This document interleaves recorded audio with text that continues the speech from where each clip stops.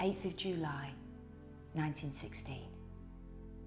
Dear Alf, excuse me for being so long in writing to you. I am in the pink and best of spirits.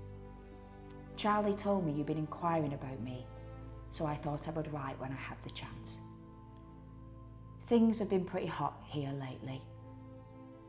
We went over the top last week, and I shall never forget it.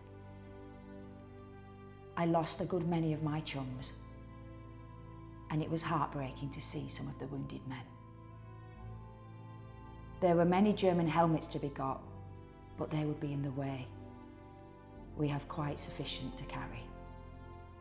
The German bayonets are awful things.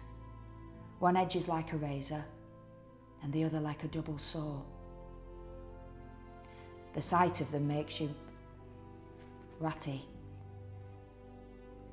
Well, Alf, I hope you don't have to come up.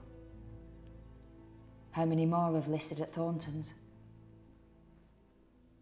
I have nothing more to write about, so I will close wishing you the best of luck. George.